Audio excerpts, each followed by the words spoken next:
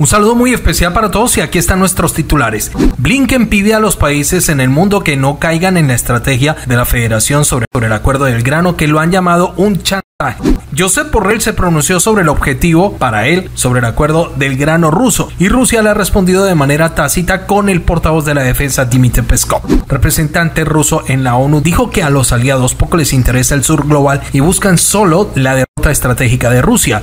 El país persa realiza ejercicios militares en, en paralelo a la presencia de buques de la Armada norteamericana en el Golfo Pérsico. Embajadora del norte en la ONU advierte al Kremlin que cualquier acción del grupo privado ruso contra Varsovia sería considerada una agresión contra la alianza. Funcionario polaco asegura que los sistemas de defensa de Polonia no son impenetrables. Informe del Ministerio de la Defensa de Ucrania y la Federación Armada de Indonesia destruye fragata en desuso. Kremlin adopta medidas contra Rumanía a nivel diplomático y también toma medidas de sanciones económicas contra empresas del norte. Ucrania pide a los aliados agilizar la entrega de los F-16. Esta y mucha más información en este nuevo video informativo para hoy los invitamos. Si cree que tiene relevancia, por favor comparta esta información. Nos ayuda bastante para continuar haciendo esta información importante para todos ustedes a diario en Noticias Internacionales Mundo y Noticias de Última Hora. Aquí está el contexto de las noticias.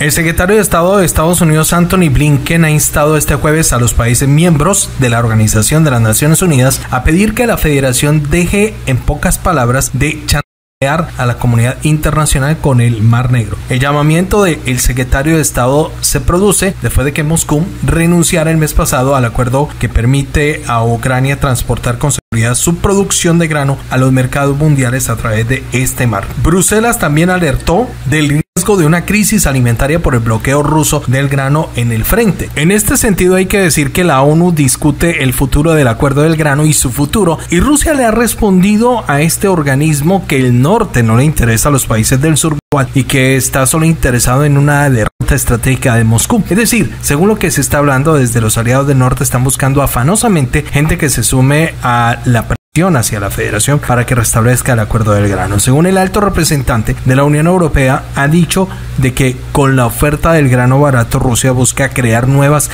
dependencias exacerbando las vulnerabilidades económicas y la inseguridad alimentaria global. Esto lo dice Borrell y a lo que también le mereció la respuesta por parte del Kremlin. Según el portavoz Dmitry Peskov, ha dicho que Rusia siempre será confiable y ratifica que siempre cumple todos los compromisos y así fue como Rusia también tocó este tema en la Organización de las Naciones Unidas. Reitero que cuando los problemas que hemos indicado públicamente, incluido en esta sala, surgidos en el marco del cumplimiento del memorando entre Rusia y la ONU, sean solucionados, estaremos listos para retomar la iniciativa del Mar Negro. Rusia ha dicho que puede volver a la iniciativa del Mar Negro si Occidente cumple con todas sus obligaciones y ha ratificado que están elaborando mecanismos de entrega a los países más necesitados de forma gratuita. Bueno, y Pongan atención porque en las últimas horas, desde el bloque de países africanos le han pedido a la Organización de las Naciones Unidas que tome las medidas necesarias para liberar 200.000 toneladas de fertilizantes rusos bloqueados en puertos marítimos europeos para su entrega inmediata y que libren a los países africanos. Es lo que ha pedido en las últimas horas desde la presidencia del bloque africano. Bueno, mis amigos de noticias de última hora y de noticias internacionales mundo, la cosa se pone interesante en el Golfo Pérsico. ¿Y por qué se los estoy diciendo así? Resulta que el país persa que dirige Ebrahim Reisi lanzó en las últimas horas los mayores ejercicios militares de su historia frente a los buques adscritos a la Marina norteamericana han comenzado este miércoles 2 de agosto y según la cartera de la defensa del país iraní, uno de los objetivos principales es demostrar su preparación a la defensiva. Eso es lo que está informando diarios locales del país persa como el diario Tasnim. En los simulacros se han utilizado embarcaciones, misiles, drones y electromagnética para destruir con precisión objetivos predeterminados. Los ejercicios se llevan a cabo como la parte de la estrategia del país persa para garantizar la la estabilidad en esta región estratégicamente importante para sus intereses y el objetivo es probar y mejorar el entrenamiento militar y la eficacia de sus fuerzas armadas en condiciones cercanas al combate. Según representantes de la Guardia, las maniobras se llevan a cabo teniendo en cuenta las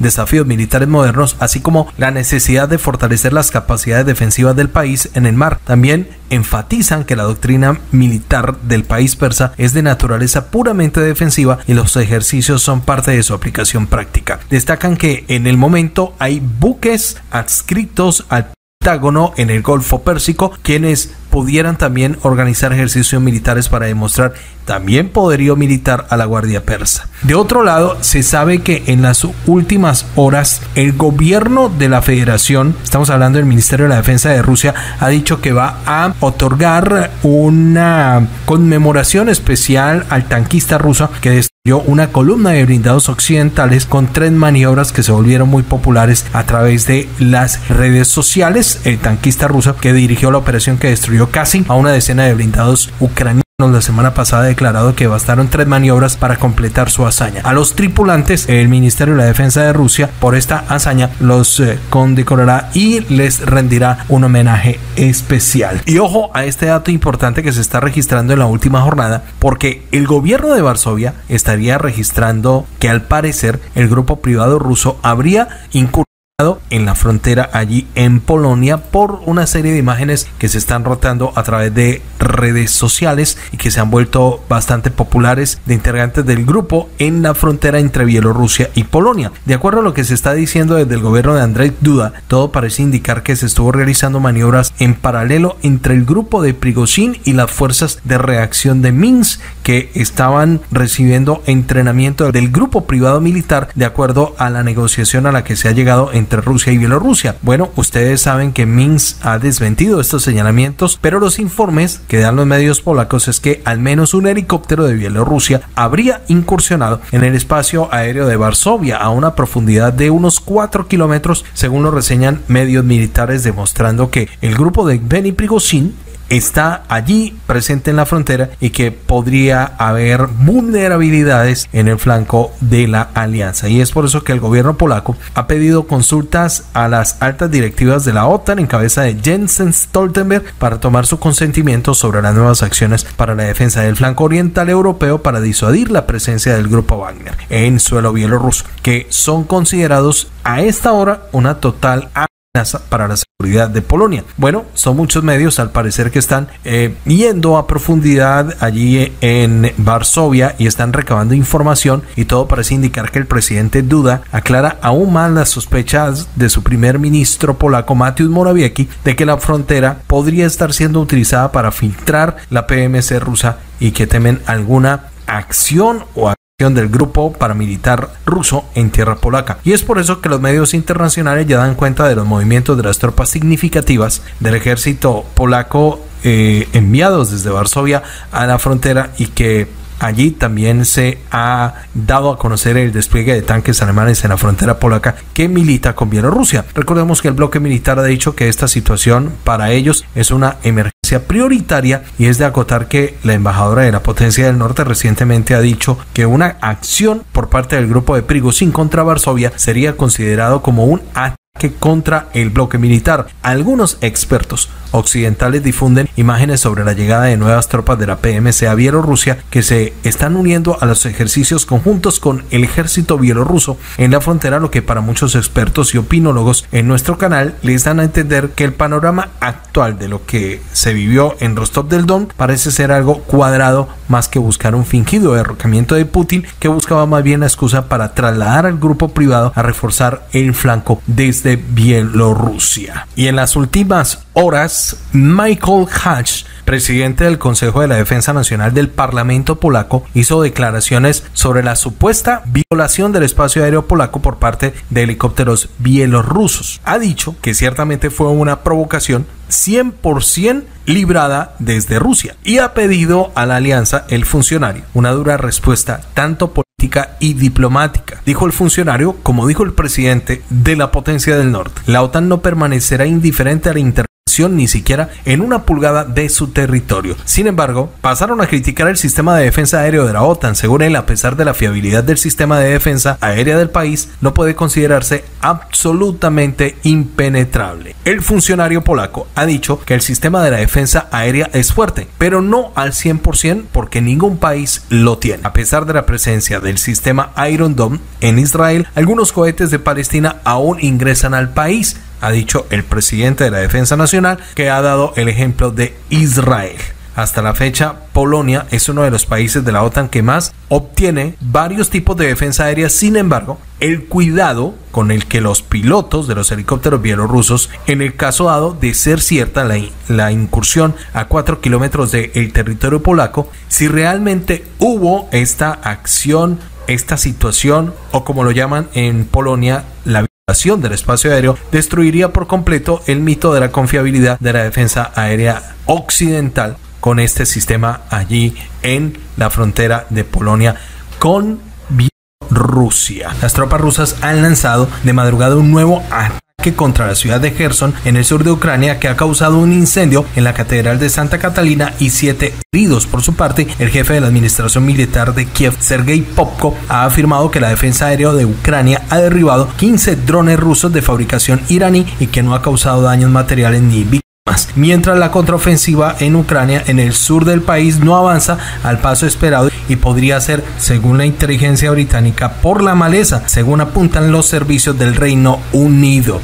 Bueno, mis amigos, esta noticia también es relevante en las últimas horas. Unos ejercicios militares que ha realizado la Armada de Indonesia con misiles de precisión acabaron hundiendo la fragata Slamet Riyadi con cinco impactos de precisión, según la información de los medios internacionales. La Armada de Indonesia ha informado del hundimiento de su propia fragata fuera de servicio, la FF-352 Slamet Riyadi, fragata holandesa de la clase Leander van Speyk que se retiró de la tropa o de la flota en 2019. Según diarios militares eslavos, la fragata se utilizó como objetivo durante el lanzamiento práctico de cohetes, que esto tuvo lugar el 31 de julio. Según los datos que están siendo publicados en la web oficial de la Armada de Indonesia, el objetivo recibió cinco impactos directos de cuatro misiles antibuque, dos de ellos Exocet MM-40 Block 3 fueron disparados fueron lanzados desde barcos de la flota de Indonesia y la fragata también recibió impactos dos misiles de fabricación china, uno S-705 y el otro S-802. Después de una serie de impactos exitosos de misiles, la fragata fue hundida por una bomba guiada de un caza F-16. Como resultado de múltiples impactos, el buque quedó fuera de servicio literalmente destrozado y se hundió rápidamente según los servicios informativos de Indonesia. De otro lado, el Ministerio de Exteriores de Rusia ha informado este jueves que reducirá el personal diplomático de la delegación de Rumanía en Moscú. Un responsable del organismo rumano, Cosmin Konstantin, ha sido citado por el Ministerio de Exteriores ruso que le informó sobre la reducción del personal en las instituciones diplomáticas y consulares de Rumania en Rusia. Según Exteriores, esta medida se ha tomado para responder de manera simétrica a las limitaciones que Bucarest impone en su país a la delegación de Rusia. Recordemos que a principio de junio el ministro de Exteriores de Rumanía, Bogdan Aurescu, exigió a Rusia reducir en un 40% el personal de la embajada en Bucarest, lo que supone algo más de la mitad de todo el personal acreditado. La reducción efectiva de los puestos de la embajada era de 51, pero dado que Rusia no tenía cubiertos todos estos con empleados, la medida afectó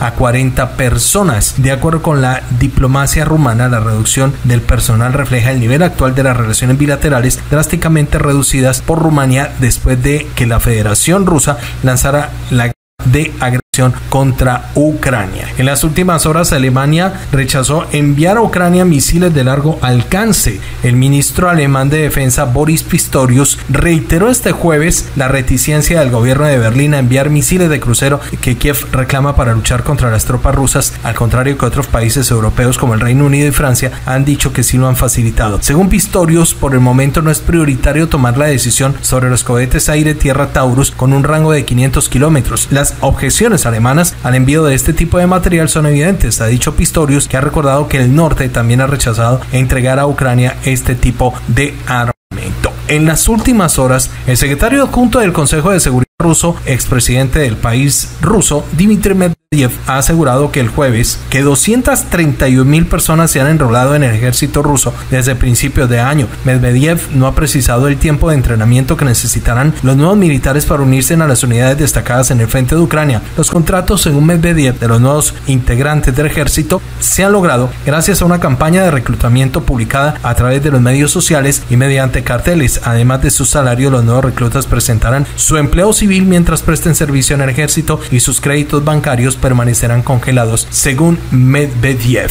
Un tribunal ruso multó a Apple por no eliminar contenidos inexactos sobre el conflicto.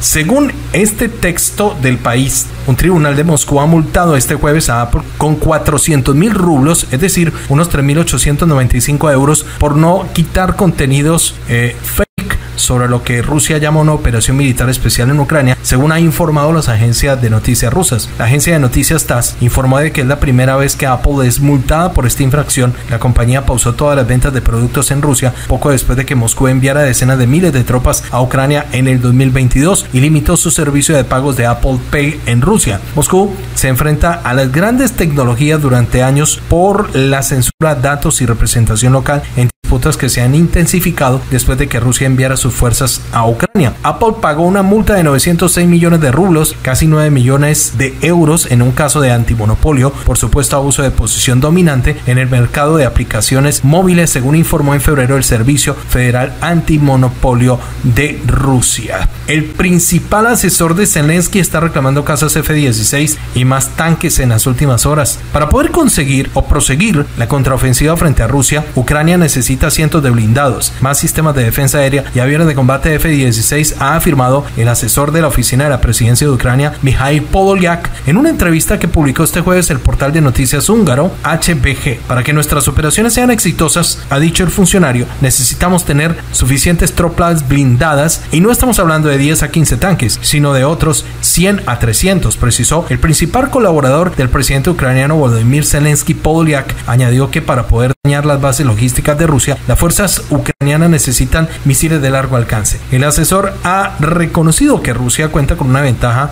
aérea de una situación que podría ser igualada con la instalación de nuevos sistemas de defensa aérea y con aviones de combate F-16. Si las entregas se aceleran, según el funcionario, el curso del conflicto también se acelera, asegurando Polia que criticó la lentitud inicial del apoyo militar occidental en 2022. En términos más generales, el asesor ha asegurado que la operación militar de Ucrania no solamente es una contraofensiva, sino un ataque real que se está llevando a cabo de acuerdo con el calendario establecido previamente por el Estado Mayor, ha dicho. Al tratar sobre posibles negociaciones con Rusia, Podolyak ha opinado que en Moscú no hay ningún liderazgo que pudiera asegurar compromisos asumidos. Y también sobre las relaciones entre Ucrania y Hungría, el asesor de Zelensky ratificó que el primer ministro húngaro, el ultranacionalista Víctor Orbán, repite la propaganda rusa al abogar por detener los envíos de al país vecino. El gobierno de Hungría, considerado aliado de Moscú en la Unión Europea, criticó las sanciones comunitarias contra Rusia a pesar de haber aprobado hasta ahora todos los paquetes punitivos. Consideramos que las declaraciones del primer ministro húngaro son perjudiciales y no entiende lo que está sucediendo en el mundo y especialmente allí en el terreno, destruyendo los valores europeos comunes con sus declaraciones, aseveró Podolyak en las últimas horas, mientras que Kiev ha señalado que Hungría solamente sigue los intereses de Budapest y ha acusado a Ucrania de no respetar los derechos de la minoría magyar de 150 mil personas que viven en el país vecino. Al respecto, el asesor declaró que Ucrania no viola los derechos de ninguna minoría. Añadió que de haber una necesidad de diálogo debe llevarse a cabo y no creo que sea fácil encontrar una solución, según este texto de el diario internacional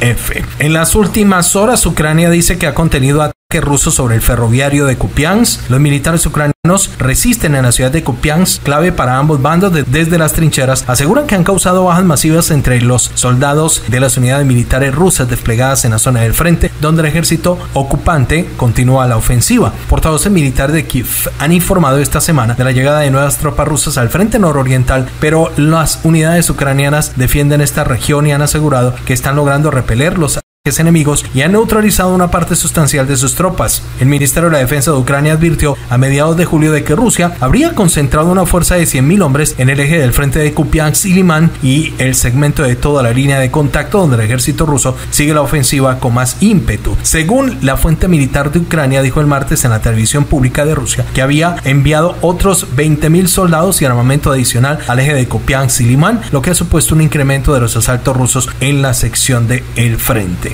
Otros datos importantes y relevantes tienen que ver con que el presidente Zelensky, que se reunirá en Arabia Saudita este 5 y 6 de agosto para hablar de propuestas de paz con los líderes internacionales y los países africanos, incluyendo el anfitrión, que es obviamente el país árabe, ha dicho recientemente que espera celebrar una cumbre de paz global en otoño y que esta misma propuesta será llevada, según un asesor presidencial en Kiev. Esto que ha dicho Zelensky será propuesto en Arabia Saudita. Ha asegurado que se necesita la restauración del orden mundial y el derecho internacional y la paz justa de las Naciones Unidas. Eso sí, han dicho en los términos de Ucrania para resolver las cosas allí en el terreno. Y han dicho que poco a poco la fórmula de paz que está presentando Kiev al mundo sigue ganando adeptos. De otro lado, Rusia ha dicho y ha calificado como una farsa la mesa de diálogo impulsada desde Occidente con Ucrania allí en Arabia Saudita y ha dicho que se trata más de una, un evento para formar una coalición antirrusa. Y ojo porque se había informado o se había expresado una información errónea desde medios occidentales sobre la postura de Brasil respecto a la expansión del BRICS. Y esto fue aclarado en las últimas horas por parte de su presidente Lula da Silva, expresando en la última jornada que estaría a favor de la entrada de Argentina y de Emiratos Árabes Unidos, desmintiendo algunos mensajes de medios internacionales que tergiversaban la postura de Brasil a través de estos rumores mediáticos. Y ojo porque Lula dice que ve obsoleto el grupo G7. El estudio del ingreso de estos países se hará en Sudáfrica en la próxima cumbre de el BRICS en el mes de agosto en Sudáfrica y también Lula ha pedido que el G7 debería ser cambiado por el G20 con nuevas políticas